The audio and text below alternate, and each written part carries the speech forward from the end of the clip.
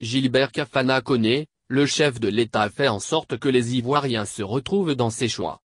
Le poste est resté vacant pendant deux ans, mais aujourd'hui la Côte d'Ivoire a un nouveau vice-président. Il s'agit de Siemoko Melie qui était jusqu'à présent le gouverneur de l'Apsao. Est-ce à dire que le président Alassane Ouattara commence à penser à sa succession? Depuis le mois dernier, Gilbert Kafana Koné, qui est le maire de la commune de Yopougon, préside le directoire du RHDP, le Rassemblement des oufouettistes pour la démocratie et la paix.